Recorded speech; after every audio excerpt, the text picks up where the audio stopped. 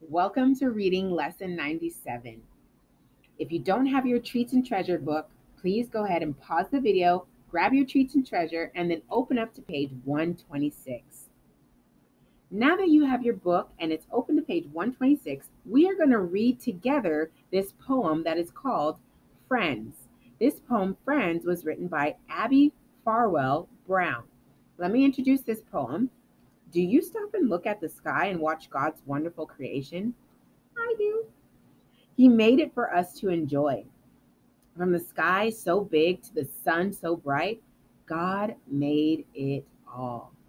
Okay, so let's read Friends together. Out, you read out loud and I'll read out loud as we are reading together. Ready? Go. How good to lie a little while and look up through the tree the sky is like a kind, big smile bent sweetly over me. The sunshine flickers through the lace of, lo- of leaves above my head and kisses me upon the face like mother before bed. The wind comes stealing o'er the grass to whisper pretty things, and though I cannot see him pass, I feel his careful wings. So many gentle friends are near whom one can scarcely see, a child should never feel a fear wherever he may be. That was a nice poem. All right. Now, if you look over at page 127, you are going to begin, or we are going to begin, reading Captain Robin. So, to introduce this story, do you like to pretend to be somebody else? Robin goes on a special adventure with her siblings it involves a map and a treasure chest. What do you think the treasure will be?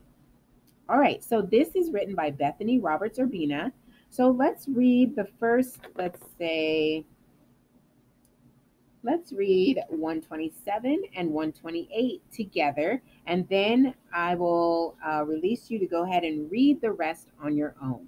So, Captain Robin is what we're reading and you read at home aloud as I read aloud here. Ready? Let's go. Ahoy, Robin, called a strange voice as Robin rounded the corner into Grandma's living room. Robin blinked and looked toward the other end of the room. Her brother, Patrick, had a three cornered hat on his head and was looking through a rolled up piece, rolled up newspaper as if it were a telescope. Her, her other brother, Nate, had a bandana tied around his head, and her sister, Carly, had a black eye patch over one eye. Both seemed to be looking carefully at a map drawn on the back of a piece of notebook paper. Um, ahoy, Patrick, she said. What are you doing? We are looking for treasure, of course, said Nate as he held out his hand we give you permission to come aboard our ship. Robin laughed and walked around to the back of the couch where her brothers and sister had set up chairs to make it look like a long ship. She took Nate's hand and climbed on board. Here is the map, Carly said. We've searched in all the uh, all the usual places, but we haven't found any treasures. Why don't we try the jungle? Said Patrick. Yes, Captain, said Carly. They all hopped out of the boat and followed Patrick to Grandma's sunroom. In the sunroom, there were all kinds of unusual plants and flowers, even a parrot that Grandma had named Lucy. All right, I want you to continue reading this story. So you're going to read 129 all the way to 133. And there's only two questions on 133. You'll see those questions on Google Classroom for you to answer so I could check your understanding of what you read. And then guess what? We finished. So I'm going to probably put up some other assignments for you to complete.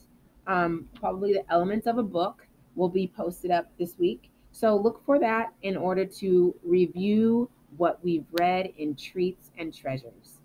So happy reading.